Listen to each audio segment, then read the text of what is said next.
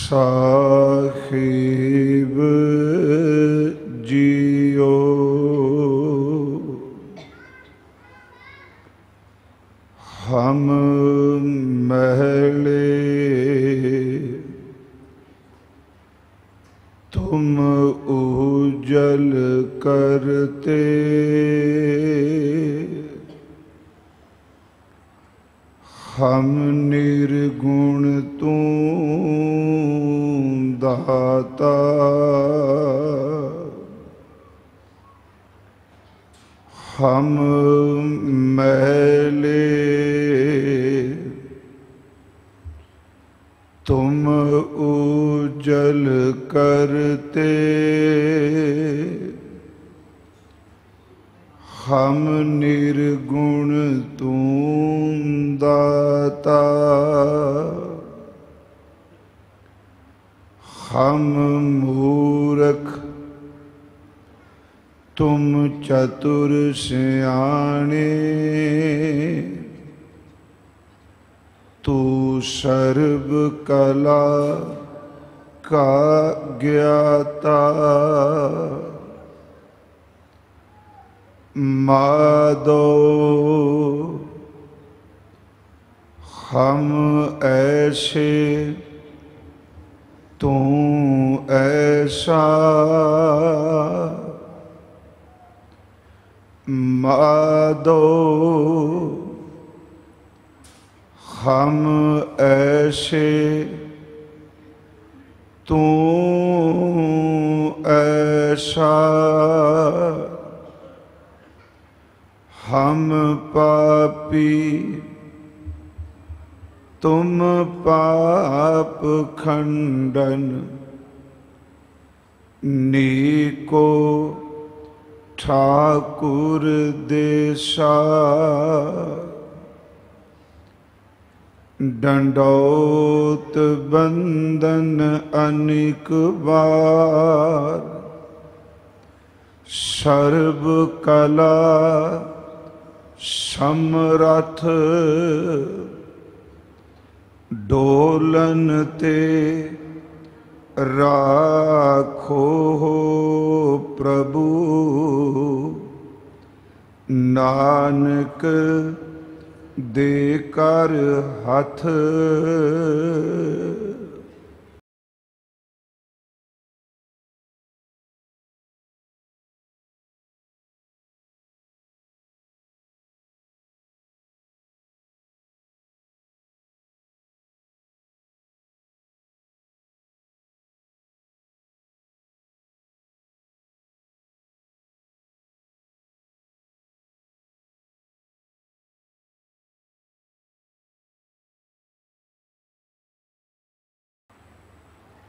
ਅੱਜ ਸੰਧਿਆ ਤੋਂ ਇਸ ਅਸਥਾਨ ਤੇ ਵਿਸ਼ੇਸ਼ ਗੁਰਮਤ ਦੀਵਾਨ ਅਸ਼ਟਮ ਬਲਬੀਰਾ ਅੰਮ੍ਰਿਤ ਦ੍ਰਿਸ਼ਟ ਦੇ ਦਾਤੇ ਬਾਲਾ ਪ੍ਰੀਤਮ ਸਤਿਗੁਰੂ ਸਾਹਿਬ ਸ੍ਰੀ ਗੁਰੂ ਹਰਿਕ੍ਰਿਸ਼ਨ ਸਾਹਿਬ ਜੀ ਮਹਾਰਾਜ, ਹਜ਼ੂਰ ਦੇ ਆਗਮਨ ਪੁਰਬ ਨੂੰ ਸਮਰਪਿਤ ਇਸ ਦੀਵਾਨ ਦੀ ਆਪ ਜੀ ਹਾਜ਼ਰੀ ਭਰ ਰਹੇ ਹੋ। ਆਓ ਯਤਨ ਕਰਾਂਗਾ ਨਿਰਧਾਰਤ ਸਮੇਂ ਵਿੱਚ ਰਹਿ ਕੇ ਆਪ ਸੰਗਤ ਨੂੰ ਦਾਤਾਰ ਦੀ ਸਿਫਤੋ ਸਲਾਹ ਵਿੱਚ ਹਜ਼ੂਰ ਦੇ ਜੀਵਨ ਦੇ ਰਹਿਮਤ ਭਰੇ ਜਿਹੜੇ ਦਿਨ ਨੇ, ਬਖਸ਼ਾਂ ਨੇ, ਉਹਨਾਂ ਨੂੰ ਆਪਾਂ ਵਿਚਾਰ ਸਕੀਏ। ਗੁਰੂ ਬਖਸ਼ੀ ਫਤਿਹ ਸਵੀਕਾਰ ਕਰੋ। ਅਸੀਸ ਬਖਸ਼ਦੇ ਹੋਏ ਉਚਾਰਨ ਕਰੋ ਜੀ। ਵਾਹਿਗੁਰੂ ਜੀ ਕਾ ਖਾਲਸਾ, ਵਾਹਿਗੁਰੂ ਜੀ ਕੀ ਫਤਿਹ। ਸਤਿਗੁਰੂ ਗੁਰੂ ਹਰਿਕ੍ਰਿਸ਼ਨ ਸਾਹਿਬ ਜੀ ਮਹਾਰਾਜ, ਜਿਨ੍ਹਾਂ ਦੀ ਸਰੀਰਕ ਤੌਰ ਤੇ ਇਸ ਮਾਤ ਲੋਕ ਵਿੱਚ ਜਾਂ ਇਸ ਪਲੈਨਟ ਉੱਤੇ ਸਿਰਫ ਤਾਂ ਸਿਰਫ 8 ਕੁ ਸਾਲ ਦੀ ਜੀਵਨ ਯਾਤਰਾ ਹੈ। ਜੁਲਾਈ 1656 ਨੂੰ ਸਤਿਗੁਰੂ ਗੁਰੂ ਹਰਿਕ੍ਰਿਸ਼ਨ ਸਾਹਿਬ ਜੀ ਦਾ ਆਗਮਨ ਕੀਰਤਪੁਰ ਸਾਹਿਬ ਦੀ ਧਰਤੀ ਤੇ ਹੋਇਆ। ਤੇ ਉਸ ਅਸਥਾਨ ਨੂੰ ਆਪਾਂ ਹੁਣ ਗੁਰਦੁਆਰਾ ਸ਼ੀਸ਼ ਮਹਿਲ ਕਹਿੰਦੇ ਹਾਂ। ਜਦੋਂ ਆਪ ਸ਼੍ਰੀ ਆਨੰਦਪੁਰ ਸਾਹਿਬ ਗਏ, ਉਸ ਅਸਥਾਨ ਦੇ ਜ਼ਰੂਰ ਦਰਸ਼ਨ ਕਰਿਓ। ਸ਼ੀਸ਼ ਮਹਿਲ ਉਹ ਅਸਥਾਨ ਹੈ ਜਿੱਥੇ 7ਵੇਂ ਔਰ 8ਵੇਂ ਗੁਰਦੇਵ ਉਹਨਾਂ ਦਾ ਆਗਮਨ ਹੋਇਆ ਹੈ। ਕੀਰਤਪੁਰ ਸਾਹਿਬ ਦੀ ਧਰਤੀ ਹੈ।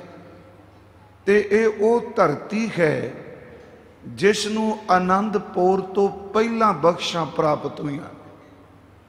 ਜਿੱਥੇ ਹੁਣ ਕੀਰਤਪੁਰ ਸਾਹਿਬ ਅਸਥਾਨ ਹੈ, ਇੱਥੇ ਸਭ ਤੋਂ ਪਹਿਲਾਂ ਆਦ ਗੁਰੂ ਧੰਨ ਗੁਰੂ ਨਾਨਕ ਸਾਹਿਬ ਮਹਾਰਾਜ ਜੀ ਦੇ ਮੁਬਾਰਕ ਚਰਨ ਪਏ ਨੇ।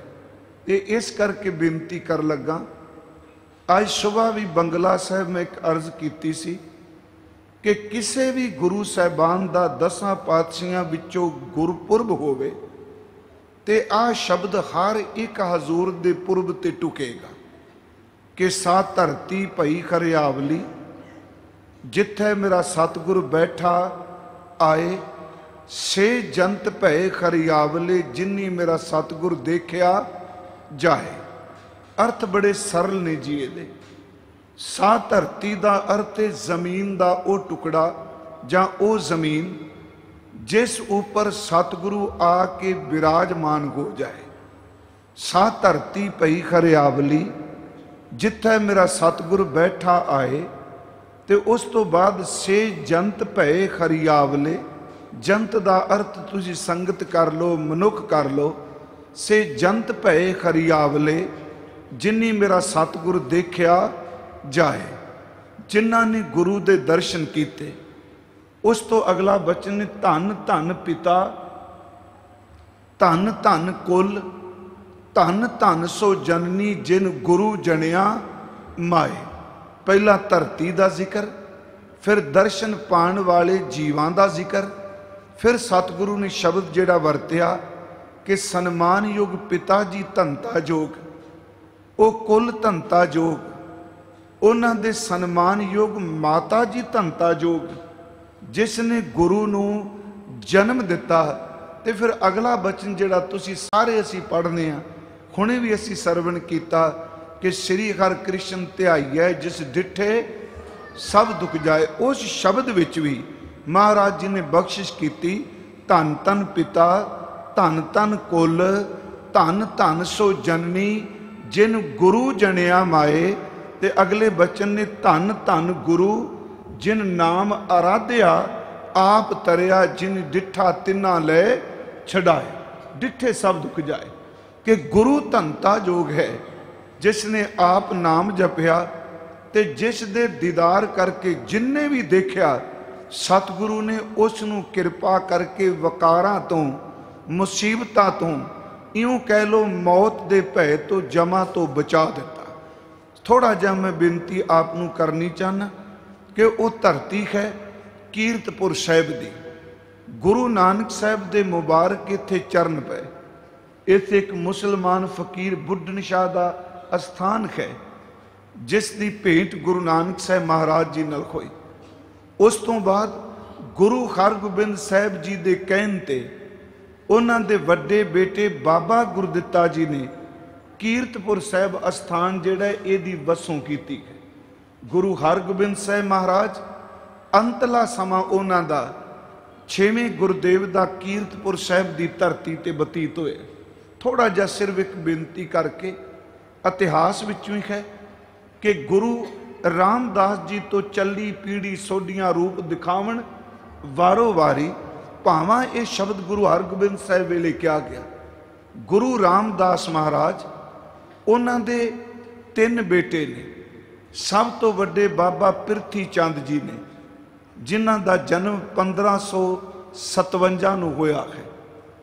ਉਹਨਾਂ ਤੋਂ ਛੋਟੇ ਬਾਬਾ ਮਹਾਦੇਵ ਜੀ ਨੇ ਗੁਰੂ ਰਾਮਦਾਸ ਦੇ ਬੇਟੇ, ਜਿਨ੍ਹਾਂ ਦਾ ਜਨਮ 1560 ਨੂੰ ਹੋਇਆ ਹੈ। ਸਭ ਤੋਂ ਛੋਟੇ ਗੁਰੂ ਅਰਜਨ ਦੇਵ ਮਹਾਰਾਜ ਜੀ ਨੇ, ਜਿਨ੍ਹਾਂ ਦਾ ਆਗਮਨ 1563 ਨੂੰ ਹੋਇਆ ਹੈ। ਗੁਰੂ ਅਰਜੁਨ ਦੇ ਮਹਾਰਾਜ, ਉਹਨਾਂ ਦੇ ਘਰ ਇੱਕ ਬੇਟੇ ਦਾ ਜਨਮ ਹੋਇਆ, ਜਿਨ੍ਹਾਂ ਨੂੰ ਆਪਾਂ ਭਾਰੀ ਗੁਰੂ, ਦਲ ਭੰਜਨ ਗੁਰੂ, ਵੱਡ ਸੂਰਮਾ ਗੁਰੂ ਭਾਈ ਸਾਹਿਬ ਨੇ ਵਰਤਿਆ। ਉਹਨੇ ਧੰਨ ਗੁਰੂ ਹਰਗੋਬਿੰਦ ਸਾਹਿਬ ਜੀ ਮਹਾਰਾਜ। ਸਿਰਫ ਪਿਛੋਕੜ ਵੀ ਉਹ ਕੁੱਲ ਕਿਹੜੀ ਹੈ? ਧੰਨ ਧੰਨ ਸੋ ਕੁੱਲ ਦਾ ਜ਼ਿਕਰ ਕੀਤਾ ਗੁਰੂ ਗ੍ਰੰਥ ਸਾਹਿਬ ਜੀ ਨੇ। ਗੁਰੂ ਹਰਗੋਬਿੰਦ ਸਾਹਿਬ ਮਹਾਰਾਜ, ਉਹਨਾਂ ਬਾਰੇ ਭਾਈ ਸਾਹਿਬ ਲਿਖਦੇ ਆ ਕਿ ਪੰਜ ਪਿਆਲੇ, ਪੰਜ ਪੀਰ। ਪਿਆਲੇ ਦਾ ਪੰਜ ਜਿਹੜਾ ਸ਼ਬਦ ਆਇਆ, ਇਹ ਅਸਲ 'ਚ ਪੰਜ ਦੇਵੀ ਗੁਣ ਨੇ। ਸਤ ਸੰਤੋਖ, ਦਇਆ, ਧਰਮ ਤੇ ਧੀਰਜ। ਇਹ ਪੰਜ ਦੇਵੀ ਗੁਣਾਂ ਦੇ ਪਿਆਲੇ ਪੰਜ ਪਾਤਸ਼ਾਹੀਆਂ ਨੇ ਪੀਤੇ ਤੇ ਛੇਵੇਂ ਗੁਰਦੇਵ ਬਾਰੇ ਉਹਨਾਂ ਸ਼ਬਦ ਵਰਤਿਆ, ਪੰਜ ਪਿਆਲੇ, ਪੰਜ ਪੀਰ, ਛਠਮ ਪੀਰ, ਬੈਠਾ ਗੁਰ, ਭਾਰੀ ਅਰਜਨ ਕਾਇਆ ਪਲਟ ਕੇ ਮੂਰਤ ਹਰ ਗੋਬਿੰਦ, ਸਵਾਰੀ ਦਲ ਭੰਜਨ ਗੁਰ ਸੂਰਮਾ, ਵੱਡ ਜੋਧਾ ਬਹੁ ਪਰ ਉਪਕਾਰੀ ਇਹ ਸ਼ਬਦ ਵਰਤੇ ਵੀ ਵੱਡਾ ਸੂਰਮਾ ਦਲਾਂ ਨੂੰ ਭੰਜਨ ਕਰਨ ਵਾਲਾ, ਤੇ ਉਂਝ ਯਾਦ ਰੱਖਿਓ, ਦਸਾਂ ਪਾਤਸ਼ਾਹੀਆਂ ਵਿੱਚੋਂ ਜੇ ਆਪਾਂ ਸਰੀਰਕ ਵਜੂਦ ਦੀ ਗੱਲ ਕਰਾਂਗੇ, ਤੇ ਸਭ ਤੋਂ ਜ਼ਿਆਦਾ ਸਰੀਰਕ ਤੌਰ ਤੇ ਉੱਚੇ ਕੱਦ ਕਾਠ ਵਾਲੇ ਜਿਹੜੇ ਹੋਏ ਆ ਉਹ ਧੰਨ ਗੁਰੂ ਹਰਗੋਬਿੰਦ ਸਾਹਿਬ ਮਹਾਰਾਜ ਜੀ ਨੇ। ਲੁਧਿਆਣੇ ਦੇ ਨੇੜੇ ਇੱਕ ਪਿੰਡ ਹੈ ਜੀ, ਕੁੜਾਣੀ। ਉੱਥੇ ਗੁਰੂ ਹਰਗੋਬਿੰਦ ਸਾਹਿਬ ਮਹਾਰਾਜ ਜੀ ਦਾ ਚੋਲਾ ਪਿਆ ਹੈ। ਮੈਂ ਜ਼ਿਆਦਾ ਕਿਉਂਕਿ ਸਿਰਫ ਗੁਰੂ ਹਰਕ੍ਰਿਸ਼ਨ ਸਾਹਿਬ ਬਾਰੇ ਬੇਨਤੀ ਕਰਨੀ ਹੈ ਉਸ ਚੋਲੇ ਨੂੰ ਜਦੋਂ ਆਪਾਂ ਦੇਖਨੇ ਆ, ਕੱਪੜੇ ਤੋਂ ਦੇਖ ਕੇ ਪਤਾ ਲੱਗ ਜਾਂਦਾ ਵੀ ਕੱਦ ਕਾਠ ਕੈਸਾ ਹੋਵੇਗਾ। ਗੁਰੂ ਹਰਗੋਬਿੰਦ ਸਾਹਿਬ ਮਹਾਰਾਜ ਜੀ ਦੇ ਚੋਲੇ ਦੀ ਜਿਹੜੀ ਬਾਹ ਹੈ ਇਸ ਦੀ ਲੰਬਾਈ 42 ਇੰਚ ਹੈ 42. 42 ਇੰਚ ਸਿਰਫ ਇਹਦੀ ਲੰਬਾਈ ਹੈ। ਗੁਰੂ ਹਰਗੋਬਿੰਦ ਸਾਹਿਬ ਇੰਨੇ ਜਵਾਨ ਸਨ ਜੀ ਕਿ ਤਕਰੀਬਨ ਇੱਕ ਘੋੜਾ ਵੱਧ ਤੋਂ ਵੱਧ 2.5 3 ਘੰਟੇ ਮਹਾਰਾਜ ਜੀ ਨੂੰ ਲਿਜਾ ਸਕਦਾ ਸੀ। ਬਹੁਤ ਜਵਾਨ ਸਨ ਤੇ ਸੋਹਣੇ ਬਹੁਤ ਜ਼ਿਆਦਾ ਸਰੀਰਕ ਤੌਰ ਤੇ। ਇਸੇ ਕਰਕੇ ਭਾਈ ਸਾਹਿਬ ਨੇ ਜਿੱਥੇ ਗੁਰ ਭਾਰੀ ਸ਼ਬਦੀ ਵਰਤਿਆ ਉੱਥੇ ਬਖਸ਼ਾਂ ਸਨ। ਗੁਰੂ ਹਰਗੋਬਿੰਦ ਸਾਹਿਬ ਮਹਾਰਾਜ ਜੀ ਦੇ ਘਰ ਪੰਜ ਬੇਟਿਆਂ ਦਾ ਤੇ ਇੱਕ ਬੇਟੀ ਦਾ ਜਨਮ ਹੋਇਆ। ਸਭ ਤੋਂ ਵੱਡੇ ਬੇਟੇ ਨੇ ਬਾਬਾ ਗੁਰਦਿੱਤਾ ਜੀ। ਉਹਨਾਂ ਤੋਂ ਛੋਟੇ ਬਾਬਾ ਅਟਲ ਰਾਏ ਜੀ। ਉਸ ਤੋਂ ਅੱਗੇ ਬਾਬਾ ਸੂਰਜਮਲ ਜੀ। ਉਸ ਤੋਂ ਅੱਗੇ ਚੌਥੇ ਨੰਬਰ ਤੇ ਬਾਬਾ ਅਨੀ ਰਾਏ ਜੀ ਤੇ ਪੰਜਵੇਂ ਸਤਿਗੁਰੂ ਗੁਰੂ ਤੇਗ ਬਹਾਦਰ ਜੀ ਮਹਾਰਾਜ ਨੇ। ਪੰਜਵੇਂ ਸਤਿਗੁਰੂ ਗੁਰੂ ਤੇਗ ਬਹਾਦਰ ਪੰਜਵੇਂ ਬੇਟੇ ਆ ਤੇ ਸਭ ਤੋਂ ਛੋਟੀ ਸੰਤਾਨ ਗੁਰੂ ਹਰਗੋਬਿੰਦ ਸਾਹਿਬ ਮਹਾਰਾਜ ਜੀ ਦੀ ਉਹ ਧੰਨ ਗੁਰੂ ਤੇਗ ਬਹਾਦਰ ਸਾਹਿਬ ਮਹਾਰਾਜ ਜੀ ਨੇ। ਥੋੜਾ ਆਪ ਗੁਰਮੁਖੋ ਇਕਾਗਰਤਾ ਬਣਾਇਓ। ਮੈਂ ਪਿਛੋਕੜ ਤਾਂ ਜਾਣਾ ਚਾਹਨਾ ਵਾਂ ਕਿ ਕਈ ਵਾਰੀ ਕਈ ਸੱਜਣ ਗੁਰੂ ਹਰਗੋਬਿੰਦ ਸਾਹਿਬ ਤੋਂ ਬਾਅਦ ਗੁਰਗੱਦੀ ਇਉਂ ਸਮਝਦੇ ਆ ਕਿ ਮਹਾਰਾਜ ਜੀ ਨੇ ਆਪਣੇ ਪੁੱਤਰ ਨੂੰ ਦਿੱਤੀ ਹੈ। ਪਰ ਨਹੀਂ, ਗੁਰੂ ਹਰਗੋਬਿੰਦ ਸਾਹਿਬ ਜੀ ਮਹਾਰਾਜ, ਉਹਨਾਂ ਦੇ ਪੰਜ ਬੇਟੇ ਤੇ ਇੱਕ ਬੇਟੀ ਹੈ। ਉਸ ਬੇਟੀ ਦਾ ਨਾਮ ਇਤਿਹਾਸ ਦੇ ਵਿੱਚ ਅਸੀਂ ਬੀਬੀ ਵੀਰੋ ਜੀ ਪੜ੍ਹਨੇ ਖਾਂ ਗੁਰਮੁਖੋ ਥੋੜੀ ਜੀ ਇਕਾਗਰਤਾ ਪਲੀਜ਼ ਬਣਾਇਓ, ਜਿੱਥੇ ਜਗ੍ਹਾ ਮਿਲਦੀ ਹੈ ਆਪ ਜੀ ਟਿਕ ਜਾਇਓ। ਇਹ ਦੇਰੀ ਵੀ ਚੰਗੀ ਹੋਈ ਸੈਕਟਰੀ ਸਾਹਿਬ ਕਹਿ ਰਹੇ ਸਨ ਨਾ ਜੀ, ਦੇਰ ਹੋ ਗਏ ਜੇ ਆਪਾਂ ਪਹਿਲਾਂ ਚਲੇ ਜਾਂਦੇ, ਸੰਗਤ ਤਾਂ ਹੁਣ ਤੱਕ ਆ ਰਹੀ ਹੈ ਨਾ। ਇਹ ਵੀ ਭਲਾ ਹੀ ਹੁੰਦਾ ਹੈ। ਸਤਿਗੁਰੂ ਗੁਰੂ ਤੇਗ ਬਹਾਦਰ ਮਹਾਰਾਜ, ਉਹ ਸਭ ਤੋਂ ਛੋਟੀ ਸੰਤਾਨ ਨੇ। ਬੀਬੀ ਵੀਰੋ ਜੀ, ਉਹ ਬਾਬਾ ਗੁਰਦਿੱਤਾ ਜੀ ਤੋਂ ਛੋਟੇ ਨੇ। ਗੁਰੂ ਹਰਗੋਬਿੰਦ ਸਾਹਿਬ ਮਹਾਰਾਜ ਜੀ ਨੇ ਗੁਰਗੱਦੀ ਆਪਣੇ ਬੇਟੇ ਨੂੰ ਨਹੀਂ ਦਿੱਤੀ, ਕਿਉਂਕਿ ਗੁਰੂ ਹਰਗੋਬਿੰਦ ਸਾਹਿਬ ਦੇ ਵੇਲੇ ਮਹਾਰਾਜ ਜੀ ਦੇ ਦੋ ਬੇਟੇ ਜਿਹੜੇ ਨੇ, ਉਹ ਹਜ਼ੂਰ ਦੀ ਖਿਆਤੀ ਵਿੱਚ ਅਕਾਲ ਚਲਾਣਾ ਕਰ ਗਏ ਸਨ। ਇੱਕ ਬਾਬਾ ਅਟਲ ਰਾਏ ਜੀ, ਉਹ ਗੁਰੂ ਹਰਗੋਬਿੰਦ ਸਾਹਿਬ ਦੇ ਸਾਹਮਣੇ ਅੰਮ੍ਰਿਤਸਰ ਦੀ ਧਰਤੀ ਤੇ 9 ਸਾਲ ਦੀ ਉਮਰ ਵਿੱਚ ਅਕਾਲ ਚਲਾਣਾ ਕਰ ਗਏ ਸਨ। ਉਹਨਾਂ ਦਾ ਜਿੱਥੇ ਸੰਸਕਾਰ ਕੀਤਾ ਗਿਆ, ਉਹ 9 ਮੰਜ਼ਲੀ ਇਮਾਰਤ ਅਸੀਂ ਦੇਖਨੇ ਉਹ 9 ਮੰਜ਼ਲੀ ਇਮਾਰਤ ਅਸਲ 'ਚ ਗੁਰਦੇਵ ਦੇ ਵੇਲੇ ਨਹੀਂ, ਇਹ ਥਾਂ ਜ਼ਰੂਰ ਸੀ, ਪਰ ਇਹ 9 ਮੰਜ਼ਲੀ ਇਮਾਰਤ ਸ਼ੇਰੇ ਪੰਜਾਬ ਮਹਾਰਾਜਾ ਰਣਜੀਤ ਸਿੰਘ ਨੇ ਬਣਵਾਈ ਸੀ। ਜਿਹੜੀ ਬਾਬਾ ਅਟਲ ਜੀ ਵਾਲੀ ਇਮਾਰਤ ਹੈ, ਇਹ ਮਹਾਰਾਜਾ ਰਣਜੀਤ ਸਿੰਘ ਨੇ ਬਣਾਈ।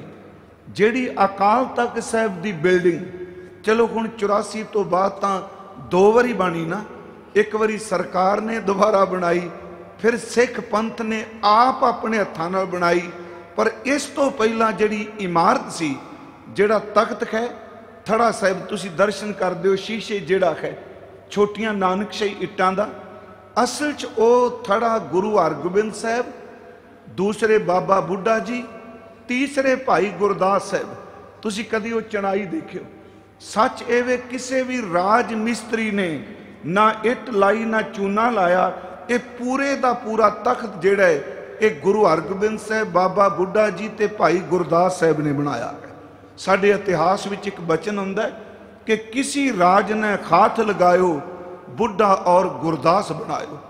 ਧੰਨ ਗੁਰੂ ਹਰਗੋਬਿੰਦ ਸਾਹਿਬ ਮਹਾਰਾਜ, ਪਹਿਲਾ ਬੇਟਾ ਬਾਬਾ ਅਟਲ ਰਾਏ ਅੰਮ੍ਰਿਤਸਰ ਤੇ ਦੂਸਰੇ ਬੇਟੇ ਉਹਨਾਂ ਦੇ, ਜਿਨ੍ਹਾਂ ਦੀ ਡੈਥ ਗੁਰੂ ਸਾਹਿਬ ਦੇ ਸਾਹਮਣੇ ਹੋਈ ਉਹਨੇ ਬਾਬਾ ਗੁਰਦਿੱਤਾ ਜੀ, ਗੁਰੂ ਹਰ ਰਾਏ ਸਾਹਿਬ ਦੇ ਪਿਤਾ ਜੀ, ਬਾਬਾ ਗੁਰਦਿੱਤਾ ਜੀ ਦਾ ਚਲਾਣਾ ਜਿਹੜਾ ਹੈ, ਉਹ ਕੀਰਤਪੁਰ ਸਾਹਿਬ ਦੀ ਧਰਤੀ ਤੇ ਹੋਇਆ ਹੈ। ਧੰਨ ਗੁਰੂ, ਹਰਗੋਬਿੰਦ ਸਾਹਿਬ ਦੇ ਦੋਨੋਂ ਬੇਟੇ ਇਸ ਕਰਕੇ ਚਲਾਣਾ ਕਰ ਗਏ ਕਿਉਂਕਿ ਇਹਨਾਂ ਦੋਨਾਂ ਨੇ ਆਪਣੀ ਖਿਆਤੀ ਵਿੱਚ ਇੱਕ ਕਰਾਮਾਤ ਸ਼ਬਦ ਵਰਤਾਂ ਵਿਖਾਈ। ਬਾਬਾ ਅਟਲ ਨੇ ਬਾਬਾ ਮੋਹਨ ਨੂੰ ਜਿੰਦਿਆਂ ਕੀਤਾ ਬਾਬਾ ਗੁਰਦਿੱਤਾ ਜੀ ਨੇ ਮਰੀ ਕੋਈ ਗਊ ਜਿੰਦੀ ਕੀਤੀ। ਪਰ ਗੁਰੂ ਹਰਗੋਬਿੰਦ ਸਾਹਿਬ ਮਹਾਰਾਜ ਕੀਰਤਪੁਰ ਸਾਹਿਬ ਜਾਂਦੇ ਆ, ਬਾਬੇ ਗੁਰਦਿੱਤੇ ਜੀ ਦੇ ਘਰ ਦੋ ਬੇਟਿਆਂ ਦਾ ਜਨਮ ਹੋਇਆ। ਵੱਡੇ ਜਿਹੜੇ ਨੇ ਉਹ ਬਾਬਾ ਧੀਰਮਲ ਜੀ ਨੇ ਤੇ ਛੋਟੇ ਬੇਟੇ ਬਾਬਾ ਗੁਰਦਿੱਤਾ ਜੀ ਦੇ ਧੰਨ ਗੁਰੂ ਹਰਿ ਸਾਹਿਬ ਮਹਾਰਾਜ ਜੀ ਨੇ। ਗੁਰੂ ਹਰਿ ਸਾਹਿਬ ਨੂੰ ਗੁਰਗੱਦੀ ਦਿੱਤੀ ਗੁਰੂ ਹਰਗੋਬਿੰਦ ਸਾਹਿਬ ਨੇ। ਗੁਰੂ ਤੇਗ ਬਹਾਦਰ ਸਾਹਿਬ ਨੂੰ ਨਹੀਂ। ਪਰ ਅਗਲੀ ਗੱਲ, ਇਹ ਵੀ ਸਤਿਗੁਰੂ ਨੇ ਇੱਕ ਬੜੀ ਕਿਰਪਾ ਕੀਤੀ। ਮੈਂ ਕਈ ਵਾਰੀ ਸੋਚਣਾ ਹੁੰਨਾ ਕਿ ਹਾਲਾਂਕਿ ਬ- ਮਾਤਾ ਨਾਨਕੀ, ਦੋ ਸ਼ਬਦ ਨਾਨਕੀ ਨੇ ਜੀ ਸਿੱਖ ਜਗਤ ਵਿੱਚ। ਜਿਨ੍ਹਾਂ ਨੂੰ ਪਤਾ ਉਹ ਤਾਂ ਸਮਝਣਗੇ ਸ਼ਾਇਦ ਭਾਈ ਸਾਹਿਬ ਬੱਚਿਆਂ ਲਈ ਗੱਲ ਕਰ ਰਹੇ ਆ। ਪਰ ਯਾਦ ਰੱਖਿਓ, ਆਮ ਸੰਗਤਾਂ ਨੂੰ ਇਹ ਵੀ ਨਹੀਂ ਪਤਾ ਕਿ ਗੁਰੂ ਤੇਗ ਬਹਾਦਰ ਸਾਹਿਬ ਦਾ ਤੇ ਗੁਰੂ ਹਰਿ ਸਾਹਿਬ ਦਾ ਰਿਸ਼ਤਾ ਕੀ ਹੈ। ਗੁਰੂ ਗੋਬਿੰਦ ਸਿੰਘ, ਗੁਰੂ ਹਰਕ੍ਰਿਸ਼ਨ ਸਾਹਿਬ ਦੇ ਕੀ ਲੱਗਦੇ ਆ। ਨਹੀਂ ਪਤਾ ਹੋਣਾ, ਬਹੁਤ ਘੱਟ। ਗੁਰੂ ਹਰਕ੍ਰਿਸ਼ਨ ਸਾਹਿਬ ਭਾਵੇਂ 8ਵੇਂ ਪਾਤਸ਼ਾਹ ਨੇ, ਪਰ ਰਿਸ਼ਤੇਦਾਰੀ ਦੇ ਖੂਨ ਦਾ ਰਿਸ਼ਤਾ ਜਿਹੜਾ ਹੈ, ਗੁਰੂ ਹਰਕ੍ਰਿਸ਼ਨ ਸਾਹਿਬ ਮਹਾਰਾਜ ਭਤੀਜੇ ਨੇ ਤੇ ਗੁਰੂ ਗੋਬਿੰਦ ਸਿੰਘ ਮਹਾਰਾਜ ਉਹਨਾਂ ਦੇ ਚਾਚੇ ਲੱਗਦੇ ਆ, ਰਿਸ਼ਤੇਦਾਰੀ ਵਿੱਚ। ਪਰ ਮੈਂ ਜਿਹੜੀ ਬੇਨਤੀ ਕਰ ਲੱਗਾ ਕਿ ਮਹਾਰਾਜ ਜੀ ਨੇ ਕੈਸੀ ਖੇਡ ਵਰਤਾਈ ਜੀ?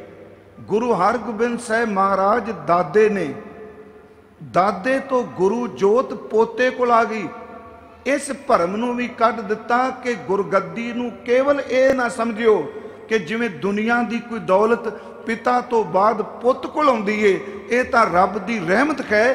ਕਈ ਵਾਰੀ ਪੁੱਤ ਕੋਲ ਹੈ, ਪਰ ਰੱਬ ਦੀ ਰਹਿਮਤ ਪਹਿਲਾਂ ਪੋਤੇ ਕੋਲ ਚਲੀ ਗਈ ਤੇ ਜਦੋਂ ਪੋਤਾ ਹਰਕ੍ਰਿਸ਼ਨ ਸਾਹਿਬ ਗੁਰਗੱਦੀ ਤੇ ਬੈਠੇ ਤੇ ਦਿੱਲੀ ਚੋਲਾ ਛੱਡਣ ਲੱਗਿਆ, ਇਹ ਬਖਸ਼ਿਸ਼ ਫਿਰ ਦਾਦੇ ਦੇ ਕੋਲ ਚਲੀ ਗਈ। ਫਿਰ ਇਉਂ ਸਮਝੋ ਦਾਦੇ ਤੋਂ ਪੋਤੇ ਕੋਲ, ਪੋਤੇ ਤੋਂ ਬਾਅਦ ਫਿਰ ਦਾਦੇ ਦੇ ਕੋਲ। ਧੰਨ ਗੁਰੂ ਹਰਗੋਬਿੰਦ ਸਾਹਿਬ ਜੀ ਨੇ ਗੁਰਗੱਦੀ ਗੁਰੂ ਹਰਿ ਸਾਹਿਬ ਜੀ ਨੂੰ ਦਿੱਤੀ। ਗੁਰੂ ਹਰਿ ਸਾਹਿਬ ਮਹਾਰਾਜ, ਉਹਨਾਂ ਦੇ ਘਰ ਦੋ ਬੇਟੇ ਨੇ। ਇੱਕ ਵੱਡੇ ਬਾਬਾ ਰਾਮ ਰਾਏ ਜੀ, ਤੇ ਜਿਸ ਸਤਿਗੁਰੂ ਦਾ ਆਪ ਪੁਰ ਮਨਾ ਰਹੇ ਹੋ, ਛੋਟੇ ਧੰਨ ਗੁਰੂ ਹਰਕ੍ਰਿਸ਼ਨ ਸਾਹਿਬ ਜੀ ਮਹਾਰਾਜ ਨੇ। ਗੁਰੂ ਹਰਕ੍ਰਿਸ਼ਨ ਸਾਹਿਬ ਮਹਾਰਾਜ, ਉਹਨਾਂ ਦਾ ਆਗਮਨ ਕੀਰਤਪੁਰ ਸਾਹਿਬ ਦੀ ਧਰਤੀ ਸੇ 1656 ਨੂੰ ਹੋਇਆ ਹੈ। ਮੈਂ ਥੋੜੀ ਜੀ ਸਿਰਫ ਇਤਿਹਾਸਕ ਤੌਰ ਤੇ ਇੰਨੀ ਕੁ ਤਿੰਨ ਸਨ ਤਾਂ ਸਾਰੀ ਸੰਗਤ ਨੂੰ ਚੇਤੇ ਰੱਖਣੇ ਚਾਹੀਦੇ ਆ। 1656 ਨੂੰ ਮਹਾਰਾਜ ਦਾ ਆਗਮਨ ਹੋਇਆ। 5 ਸਾਲ ਦੀ ਉਮਰ ਚ 1661 ਨੂੰ ਸਤਿਗੁਰੂ ਗੁਰੂ ਹਰਕ੍ਰਿਸ਼ਨ ਸਾਹਿਬ ਗੁਰਗੱਦੀ ਤੇ ਬਿਰਾਜਮਾਨ ਹੋਇਆ। 5 ਸਾਲ ਦੀ ਉਮਰ ਸੀ ਜੀ ਮਹਾਰਾਜ ਜੀ ਦੀ। ਤੇ 1664 ਨੂੰ 3 ਸਾਲ ਗੁਰਦੇਵ ਗੁਰਗੱਦੀ ਤੇ ਬਿਰਾਜਮਾਨ ਰਹੇ। ਆ 1664 ਨੂੰ ਮਹਾਰਾਜ ਜੀ ਦਿੱਲੀ ਦੀ ਧਰਤੀ ਤੇ ਇਹ ਸ਼ਬਦ ਕਹਿ ਕੇ ਕਿ ਬਾਬਾ ਬਸੇ ਗ੍ਰਾਮ ਬਕਾਲੇ ਬਨ ਗੁਰ ਸੰਗਤ ਸਕਲ ਸੰਭਾਲੇ 8 ਸਾਲ ਦੀ ਆਰਬਲਾ ਵਿੱਚ ਧੰਨ ਗੁਰੂ ਹਰਕ੍ਰਿਸ਼ਨ ਸਾਹਿਬ ਇਸ ਮਾਤ ਲੋਕ ਤੋਂ ਪਿਆਨਾ ਕਰ ਗਏ। ਹੁਣ ਸਾਖੀਆਂ ਜਦੋਂ ਅਸੀਂ ਪੜ੍ਹਨੇ ਆ, ਕਿਉਂਕਿ ਮੇਰਾ ਖਿਆਲ ਇਹੀ ਸ਼ਬਦ ਨੇ ਸਾਡੇ ਕੋਲ ਵੀ ਨੇ।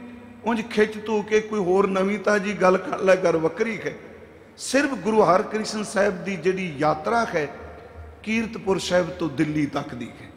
ਮਹਾਰਾਜ ਹੋਰ ਕਿਸੇ ਪਾਸੇ ਨਹੀਂ ਗਏ। ਗੁਰੂ ਨਾਨਕ ਸਾਹਿਬ ਤੋਂ ਬਾਅਦ ਜੇ ਪੰਜਾਬ ਤੋਂ ਬਾਹਰ ਨਿਕਲਦੇ ਆ ਗੁਰਤਾ ਗੱਦੀ ਤੇ ਅਸੀਨ ਹੋ ਕੇ, ਉਹ ਤੀਸਰੇ ਪਾਤਸ਼ਾਹ ਗੁਰੂ ਅਮਰਦਾਸ ਨਿਕਲਦੇ ਆ। ਕਈਆਂ ਨੂੰ ਸ਼ਾਇਦ ਬਹੁਤ ਘੱਟ ਪਤਾ ਹੋਣਾ। ਇਹ ਯਾਦ ਰੱਖਿਓ, ਮਹਾਰਾਜ ਪਹਿਲਾਂ ਜਾਂਦੇ ਰਹੇ ਆ 19 ਵਾਰ ਗੰਗਾ ਤੇ ਗਏ ਆ। ਪਰ ਜਦੋਂ ਗੁਰਗੱਦੀ ਤੇ ਬਿਰਾਜਮਾਨ ਹੋਏ, ਉਸ ਤੋਂ ਬਾਅਦ ਫਿਰ ਦੁਬਾਰਾ ਮਹਾਰਾਜ ਕੁਲਕਸ਼ੇਤਰ ਵੀ ਗਏ ਆ। ਮਹਾਰਾਜ ਹਰਿਦੁਆਰ ਵੀ ਗਏ ਆ। ਕੱਲੀ ਹਿਸਟਰੀ ਨਹੀਂ, ਤੁਖਾਰੀ ਰਾਜ 'ਚ ਇੱਕ ਸ਼ਬਦ ਹੈ ਗੁਰੂ ਰਾਮਦਾਸ ਦਾ। ਉਹਦੇ ਵਿੱਚ ਮਹਾਰਾਜ ਜੀ ਨੇ ਡਿਟੇਲ ਦਿੱਤੀ ਏ ਕਿ ਜਿੱਥੇ ਗੁਰੂ ਅਮਰਦਾਸ ਕਹਿ ਜਾਂਦੇ ਨੇ, ਉੱਥੇ ਤੀਰਥਾਂ ਦੇ ਟੈਕਸ ਵੀ ਖਤਮ ਹੋਈ ਜਾਂਦੇ ਉਹ ਸ਼ਬਦ ਕਹੇ, ਤੀਰਥ ਉਦਮ ਸਤਗੁਰ ਕੀਆ, ਸਭ ਲੋਕ ਉਦਰਨ। ਅਰਥਾ ਉਹਦੇ ਵਿੱਚ ਗੁਰੂ ਰਾਮਦਾਸ ਵੀ ਨਾਲ ਨੇ। ਹਾਲਾਂਕਿ ਸ਼ਬਦ ਮਹਾਰਾਜ ਜੀ ਨੇ ਗੁਰਤਾ ਗੱਦੀ ਤੇ ਬਿਰਾਜਮਾਨ ਹੋ ਕੇ ਉਚਾਰਨ ਕੀਤਾ। ਪਰ ਗੁਰੂ ਰਾਮਦਾਸ ਨਾਲ ਨੇ। ਗੁਰੂ ਰਾਮਦਾਸ ਅਮਰਦਾਸ ਤੋਂ ਬਾਅਦ, ਪੰਜਾਬ ਤੋਂ ਬਾਹਰ, ਜੇ ਫਿਰ ਜ਼ਿਆਦਾ ਕਿਸੇ ਸਫ਼ਰ ਕੀਤਾ, ਤੇ ਉਹ ਧੰਨ ਗੁਰੂ ਹਰਗੋਬਿੰਦ ਸਾਹਿਬ ਮਹਾਰਾਜ ਜੀ ਨੇ ਕੀਤਾ। ਅੱਜ ਇਹਨੂੰ ਆਪਾਂ ਯੂਪੀ ਕਹਿੰਦੇ ਆ ਮਹਾਰਾਜ ਉੱਥੇ ਗਏ, ਜਿੱਥੇ ਨਾਨਕ ਮਤਾ ਸਾਹਿਬ ਗੁਰਦੁਆਰਾ ਸ਼ਾਇਦ ਆਪ ਵਿੱਚੋਂ ਦਰਸ਼ਨ ਕੀਤੇ ਕੋਣ ਉਸ ਗੁਰਦੁਆਰੇ ਦੇ? ਰੱਬ ਦੀ ਅਜੇ ਕਿਰਪਾ ਹੈ, ਅਜੇ ਕੁਹਾੜਾ ਨਹੀਂ ਕਿਸੇ ਚਲਾਇਆ ਉਸ ਪਿੱਪਲ ਨੂੰ। ਜਿਸ ਪਿੱਪਲ ਦੇ ਥੱਲੇ ਗੁਰੂ ਨਾਨਕ ਸਾਹਿਬ ਮਹਾਰਾਜ ਬੈਠੇ ਸਨ। ਮੈਂ ਰਾਤ ਵੀ ਇੱਕ, ਅੱਜ ਦੁਪਹਿਰੇ ਵੀ ਰਾਤ ਵੀ ਬੇਨਤੀ ਕੀਤੀ ਸੀ। ਮੈਂ ਇਸ ਗੱਲ ਨੂੰ ਕਿਉਂਕਿ ਸੰਕੀਰਨਤਾ ਵਾਲੇ ਹੋ ਸਕਦਾ ਕਈ ਤਰ੍ਹਾਂ ਦੇ ਅਰਥ ਕਰਨ। ਜਿਸ ਜਗ੍ਹਾ ਤੇ ਗੁਰੂ ਬੈਠ ਜਾਂਦਾ ਹੈ ਨਾ, ਇਹ ਗੱਲ ਯਾਦ ਰੱਖਿਓ, ਰਹਿੰਦੀ ਦੁਨੀਆ ਤੱਕ ਉਸ ਜਗ੍ਹਾ ਉੱਤੇ ਗੁਰੂ ਦੀ ਕਿਰਪਾ ਵਰਤਦੀ ਹੀ ਵਰਤਦੀ ਹੈ। ਸਵਾਲ ਹੀ ਨਹੀਂ ਪੈਦਾ ਹੁੰਦਾ। ਦੇਖੋ ਬਾਣੀ ਨੇ ਇਸ ਗੱਲ ਨੂੰ ਮੰਨਿਆ ਹਾਂ। ਸਾਡੀ ਬਦਕਿਸਮਤੀ ਇਹ ਵੇ ਕਿ ਅਸੀਂ ਲੋਕਾਂ ਨੇ ਪੈਸਾ ਸਾਡੇ ਕੋਲ ਹੈ। ਮੈਂ ਕਈ ਵਾਰੀ ਸੋਚਣਾ, ਮੇਰੀ ਗੱਲ ਚੰਗੀ ਹੋ ਸਕਦਾ, ਨਾ ਲੱਗੇ ਕਿ ਜਿਹੜੀ ਗੁਰੂ ਦੀ ਸ਼ੂ ਸੀ, ਉਹਨੂੰ ਬਿਲਕੁਲ ਨਹੀਂ ਛੇੜਨਾ ਚਾਹੀਦਾ ਸੀ। ਰੁਪਈਏ ਸਨ ਤੁਹਾਡੇ ਕੋਲ ਸਿੱਖੋ, ਤੁਸੀਂ ਨੇੜੇ ਜਿੰਨੇ ਮਰਜ਼ੀ ਖਾਲ ਬਣਾ ਲਿੰਦੇ, ਪਰ ਉਹਨਾਂ ਚੀਜ਼ਾਂ ਨੂੰ ਨਾ ਛੇੜਦੇ ਜਿੱਥੇ ਗੁਰੂ ਦੇ ਮੁਬਾਰਕ ਚਰਨ ਪਏ ਹੋਏ ਸਨ। ਆਪਾਂ ਰੁੱਖ ਵੀ ਕੱਟੇ ਜਿੱਥੇ ਗੁਰੂ ਬੈਠਾ।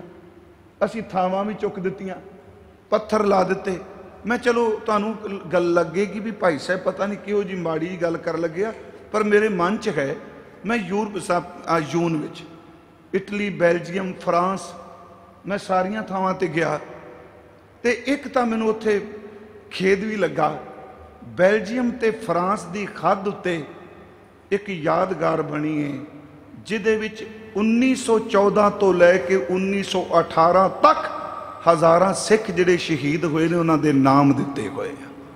ਇਹ ਫਲਾਣੇ ਪਿੰਡ ਦਾ ਸੀ ਜੀ। ਆਪਾਂ ਕਹਿੰਦੇ ਫਰਾਂਸ ਵਾਲਿਆਂ ਨੂੰ ਦੱਸੋ ਜੀ, ਪੱਗ ਕੀ ਹੁੰਦੀ ਏ? ਇਹ ਸੱਚੀ ਮੁੱਚੀ ਕਪਟਪਨ ਜੇ। ਪੂਰੇ ਫਰਾਂਸ ਦੀ ਹਿਸਟਰੀ 'ਚ ਪਤਾ ਹੈ ਕਿ ਇਸ ਵਰਲਡ ਵਾਰ ਵਿੱਚ ਕਿੰਨੇ ਸਿੱਖ ਸ਼ਹੀਦ ਹੋਏ। ਹਜ਼ਾਰਾਂ ਦੀ ਗਿਣਤੀ ਵਿੱਚ ਸਿੱਖ। ਤਿਸ ਕਾ ਨਾਮ, ਲਫ਼ਜ਼ ਬੜੇ ਸੌਖੇ ਅਰਥ ਨੇ। ਕਿ ਜਿਨੇ ਸਤ ਪੁਰਖ ਨੂੰ ਜਿਹਨੂੰ ਅਕਾਲ ਪੁਰਖ ਕਿਹਾ ਜਿਨੇ ਉਸ ਨੂੰ ਜਾਣ ਲਿਆ ਹੈ, ਸਤ ਪੁਰਖ ਜਿਨ ਜਾਣਿਆ, ਸਤਗੁਰ ਤਿਸ ਕਾ ਨਾਮ ਤਿਸ ਕੈ ਸੰਗ, ਉਸ ਦੀ ਸੰਗਤ ਕਰਕੇ, ਉਹਦੀ ਸੋਭਤ ਕਰਕੇ ਸਿੱਖ ਉਧਰੈ। ਨਾਨਕ, ਹਰ ਗੁਣ ਗਾਓ। ਸਿਰਫ ਦੋ ਤਿੰਨ ਬੇਨਤੀਆਂ ਕਰਨੀਆਂ ਨੇ। ਇਸ ਦੇ ਪਹਿਲੇ ਪਦੇ ਵਿੱਚ ਨਾ ਜੀ, ਆਪ ਧਿਆਨ ਰੱਖਿਓ, ਬਿਲਕੁਲ ਜ਼ਿਕਰ ਨਹੀਂ ਕੀਤਾ ਸਿੱਖਾ ਤੂੰ ਆ ਕਰ। 18ਵੀਂ ਅਸ਼ਟਪਦੀ ਦਾ ਪਹਿਲਾ ਪਦਾ, ਉਸ ਵਿੱਚ ਇਹ ਨਹੀਂ ਕਿਹਾ ਤੂੰ ਬਾਣੀ ਪੜ ਤੂੰ ਸਿਮਰਨ ਕਰ, ਤੂੰ ਸੰਗਤ ਕਰ। ਪਹਿਲੇ ਪਦੇ ਵਿੱਚ ਨਰੋਲ ਗੁਰੂ ਦੀ ਕਿਰਪਾ ਦਾ ਜ਼ਿਕਰ ਕੀਤਾ ਹੈ। ਸਤਿਗੁਰ ਸਿੱਖ ਕੀ ਕਰੈ? ਇਹ ਚ ਥੋੜਾ ਕਿਹਾ ਸਿੱਖਾ ਤੂੰ ਬਾਣੀ ਪੜ ਇੱਕੋ ਪੱਖ ਲਿਆ। ਸਤਿਗੁਰ ਸਿੱਖ ਕੀ ਕਰੈ? ਪ੍ਰਤਪਾਲ ਸੇਵਕ ਕੋ ਗੁਰ ਸਦਾ ਦਇਆਲ। ਸਿੱਖ ਕੀ ਗੁਰ ਦੁਰਮਤ ਮਲ ਹੀ ਰਹਿ, ਗੁਰ ਬਚਨੀ ਕਰ ਨਾਮ ਉਚਰੈ ਸਤਿਗੁਰ ਸਿੱਖ ਕੇ ਬੰਧਨ ਕਾਟੈ ਗੁਰ ਕਾ ਸਿੱਖ, ਬੇਕਾਰ ਤੇ ਹਟੈ ਸਤਿਗੁਰ ਸਿੱਖ ਕੋ ਨਾਮ ਧਨ ਦੇ। ਗੁਰ ਕਾ ਸਿੱਖ, ਵਡ ਭਾਗੀ। ਇਹ ਚ ਕੋਈ ਆ ਕਿ ਸਿੱਖਾ ਤੂੰ ਆ ਕਰ? ਨਰੋਲ ਗੁਰੂ ਦੀ ਬਖਸ਼ਿਸ਼। ਸਿੱਖ ਦੀ ਪ੍ਰਤਪਾਲਨਾ ਕਰਦੇ ਨੇ, ਭੈੜੀ ਮਤ ਦਾ ਨਾਸ਼ ਕਰਦੇ ਨੇ, ਬੰਧਨ ਕੱਟਦੇ ਨੇ, ਨਾਮ ਦਿੰਦੇ ਨੇ।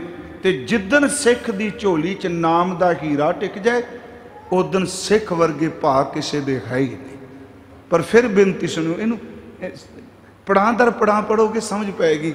ਸਭ ਤੋਂ ਪਹਿਲਾਂ ਬੰਦਾ ਧਰਮ ਵੱਲ ਵੀ ਜਦੋਂ ਹੁੰਦਾ ਹੈ ਨਾ, ਮੇਰਾ ਖਿਆਲ 99% ਬੰਦੇ ਸਮਝਦੇ ਆ, ਸਾਡੀ ਰੋਟੀ ਦਾ ਕੀ ਬਣੇਗਾ। ਗੁਰੂ ਸਰੀਰਕ ਤੌਰ ਤੇ ਵੀ ਪਾਲਦਾ ਹੈ ਤੇ ਸਤਿਗੁਰੂ ਆਤਮਿਕ ਤੌਰ ਤੇ ਵੀ ਪਾਲਦੇ ਆ। ਸੁਣੋ ਇਸ ਬੇਨਤੀ ਨੂੰ, ਸਤਿਗੁਰ ਸਿੱਖ ਕੀ ਕਰੈ ਪ੍ਰਤਪਾਲ, ਸੇਵਕ ਕੋ ਗੁਰ ਸਦਾ, ਇੱਕ ਦਿਨ ਨਹੀਂ, ਦੋ ਦਿਨ ਨਹੀਂ, ਸਦਾ ਦਿਆਲੂ ਹੈ। ਇਸ ਗੱਲ ਨੇ ਇਹ ਬਖਸ਼ਿਸ਼ ਕਰ ਦਿੱਤੀ ਵੀ ਗੁਰੂ ਥੋੜੇ ਸਮੇਂ ਲਈ ਨਹੀਂ। ਸਤਿਗੁਰ ਸਿੱਖ ਕੋ ਸਦਾ ਦਿਆਲ ਸਿੱਖ ਕੀ ਗੁਰ ਦੁਰਮਤ ਮਾਲਿਕ ਹੀ ਰਹਿ। ਆ ਸਭ ਤੋਂ ਪਹਿਲੀ ਦਿਆਲਤਾ ਹੈ।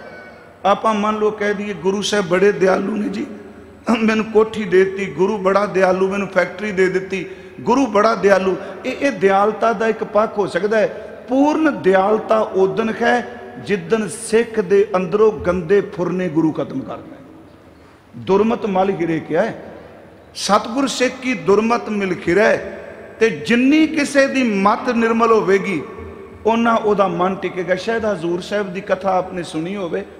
ਲਾਈਵ ਚੱਲ ਰਹੀ ਸੀ ਬਾਬਾ ਨਿਧਾਨ ਸਿੰਘ ਜੀ ਦੇ ਲੰਗਰ ਵਾਲੇ ਸਥਾਨ ਤੋਂ। ਮੈਂ ਇੱਕ ਬੇਨਤੀ ਉੱਥੇ ਕੀਤੀ ਜੀ, ਕਿ ਮੇਰਾ ਤੁਹਾਡਾ, ਇੱਕ, ਇਹ ਮਤ ਸਮਝੋ, ਮੈਂ ਆਪ ਜੀ ਨੂੰ ਕੋਈ ਹੁਕਮ ਦੇ ਰਿਹਾ ਹਾਂ ਨਹੀਂ ਪਿਆਰਿਓ, ਕਥਾ ਹੁਕਮ ਨਹੀਂ ਹੁੰਦੀ, ਦਬਕੇ ਵੀ ਨਹੀਂ ਹੁੰਦੀ। ਕਿ ਤੁਹਾਨੂੰ ਆ ਹੋ ਜਾਏਗਾ, ਤੁਸੀਂ ਆ ਹੋ ਜਾਓਗੇ, ਸਿੱਖਿਓ, ਤੁਸੀਂ ਮਰ ਗਏ। ਪਤਾ ਨਹੀਂ ਮੈਨੂੰ ਮੈਨੂੰ ਨਹੀਂ ਗੱਲ ਇਹ ਪਾਉਂਦੀ। ਜਿੰਨੇ ਅਸੀਂ ਨਾ, ਬਸ ਸਿੱਖਾਂ ਨੇ ਕੱਲ ਨੂੰ ਮਰ ਜਾਣਾ, ਸਾਰੀ ਕੌਮ ਖਤਮ ਹੋ ਜਾਣੀ। ਮੈਂ ਕਿਤੇ ਗੁਰੂ ਹਿਸਟਰੀ ਵਿੱਚ ਇੰਨੀ 네ਗੇਟਿਵਿਟੀ ਨਹੀਂ ਦੇਖੀ, ਜਿੰਨੀ ਖੁਣਖ ਹੈ ਗੁਰੂ ਗੋਬਿੰਦ ਸਿੰਘ ਦੇ ਦੋ ਪੁੱਤਰ ਅੱਖਾਂ ਸਾਹਮਣੇ ਗਏ, ਪੰਜਾਂ ਪਿਆਰਿਆਂ ਤੋਂ ਤਿੰਨ ਪਿਆਰੇ ਅੱਖਾਂ ਸਾਹਮਣੇ ਗਏ। ਉਸੇ ਹਫ਼ਤੇ ਵਿੱਚ ਛੋਟੇ ਪੁੱਤਰ ਤੇ ਮਾਂ ਜੀ ਗਏ, ਆਨੰਦਪੁਰ ਉੱਤੇ ਖਾਲਵਾ ਦਿੱਤਾ। ਇਹ ਅੱਜ ਵਾਲਾ ਆਨੰਦਪੁਰ ਸਾਹਿਬ ਨਹੀਂ ਸੀ ਜੀ। ਉਹ ਸਾਰੀਆਂ ਬਿਲਡਿੰਗਾਂ ਢਾ ਦਿੱਤੀਆਂ। ਗੁਰੂ ਦੇਵ ਮਾਛੀਵਾੜੇ ਵਿੱਚ ਬੈਠੇ। ਮਸੰਦਾ ਨੇ ਆਪਣੇ ਘਰੋਂ ਕਿਹਾ, ਮਹਾਰਾਜ, ਚਲੇ ਜਾਓ। ਉਹ ਗੁਰਮਖੋ, ਜ਼ਫਰਨਾਮਾ ਗੁਰੂ ਗੋਬਿੰਦ ਸਿੰਘ ਨੇ ਲਿਖਿਆ। ਮੈਂ ਪੂਰੇ ਜ਼ਫਰਨਾਮੇ 'ਚ ਕਿਤੇ ਨਹੀਂ ਪੜਿਆ ਇਹ ਕਿਆ ਹੋਵੇ, ਉਹ ਰੱਬਾ, ਆ ਮੇਰੀ ਕੌਮ ਖਤਮ ਹੋ ਗਈ। ਗੁਰੂ ਕਹਿੰਦੇ, ਨਹੀਂ, ਚਾਰ ਚੰਗਿਆੜੀਆਂ ਬੁੱਝੀਆਂ ਨੇ, ਅਜੇ ਭਾਂਬੜ ਬਲਨ ਵਾਲਾ ਹੈ। ਕਿਤੇ 네ਗੇਟਿਵਿਟੀ ਹੈ ਹੀ ਨਹੀਂ। ਮਹਾਰਾਜ ਕਹਿੰਦੇ, ਕੀ ਚਲਾ ਗਿਆ? ਉੱਥੇ ਦੇਖੋ ਮੈਂ ਇੱਕ ਸ਼ੇਰ ਤੁਹਾਨੂੰ ਸੁਣਾਣਾ ਮਹਾਰਾਜ ਕਹਿੰਦੇ ਤੁਰਾਗਰ ਨਜ਼ਰ ਹਸਤਕ ਲਸ਼ਕਰ ਵਾਜ਼ਰ। ਔਰੰਗਜ਼ੇਬ, ਤੇਰੀ ਨਜ਼ਰ ਸਿਰਫ ਦੌਲਤ ਤੇ ਲਸ਼ਕਰ ਤੇ ਹੈ। ਪਰ ਮੈਂ ਆਪਣੇ ਪੁੱਤਰਾਂ ਦੀ লাশ ਕੋਲੋਂ ਵੀ ਲੰਘ ਕੇ ਮੇਰੀ ਨਜ਼ਰ ਰੱਬ ਦੇ ਸ਼ੁਕਰ ਵਿੱਚ ਹੈ। ਇਹ ਨੈਗੇਟਿਵਿਟੀ ਹੈ, ਪਤਾ ਨਹੀਂ ਕੀ ਹੋ ਗਿਆ ਸਾਨੂੰ। ਤੁਰਾਗਰ ਨਜ਼ਰ ਹਸ ਲਸ਼ਕਰ ਵਾਜ਼ਰ, ਕੇ ਮਾਰਾਨ ਨਗਾ ਅਸਤ ਯਜ਼ਦਾ ਸ਼ੁਕਰ। ਮਹਾਰਾਜ ਕਹਿੰਦੇ ਨਾ, ਸਾਜ਼ੋ ਨਾ ਬਾਜ਼ੋ, ਨਾ ਫੌਜੋ, ਨਾ ਫਰਸ਼, ਅੱਜ ਕੁਝ ਵੀ ਨਹੀਂ, ਪਰ ਏਡੀ ਚੜਦੀ ਕਲਾ, ਖੁਦਾਵੰਦ ਬਖਸ਼ੰਦਾ ਐਸ਼ ਅਰਸ਼, ਮੇਰੇ ਕੋਲ ਦੁਨੀਆ ਦਾ ਕੁਝ ਵੀ ਨਹੀਂ, ਪਰ ਜੋ ਕੁਝ ਮੇਰੇ ਕੋਲ ਉਹ ਤੇਰੇ ਕੋਲ ਵੀ ਨਹੀਂ। ਮੇਰੇ ਕੋਲ ਅੰਦਰ ਦਾ ਸਕੂਨ ਹੈ। ਮੈਂ ਤੁਹਾਨੂੰ ਬੇਨਤੀ ਜਿਹੜੀ ਕਰ ਲੱਗਾ, ਸੁਣਿਓ, ਯਾਦ ਰੱਖੋ, ਮੇਰਾ ਤੁਹਾਡਾ ਮਨ ਜਿਸ ਬੰਦੇ ਦਾ ਮਨ ਬਾਣੀ 'ਚ ਨਹੀਂ ਲੱਗਦਾ ਜਣੇ ਖਣੇ ਨੂੰ ਮਤ ਪੁੱਛੋ, ਆਪਣੇ ਮਨ ਦਾ ਪਹਿਰਾ ਦਿਓ, ਜਿੰਨੀ ਕਿਸੇ ਦੀ ਮਤ ਗੰਦੀ ਹੋਵੇਗੀ ਉਹਨਾਂ ਉਹਦਾ ਮਨ ਮੈਲਾ ਹੋਵੇਗਾ, ਜਿੰਨਾ ਮਨ ਮੈਲਾ ਹੋਵੇਗਾ ਉਹਨਾਂ ਖਿੰਡਿਆ ਹੋਵੇਗਾ।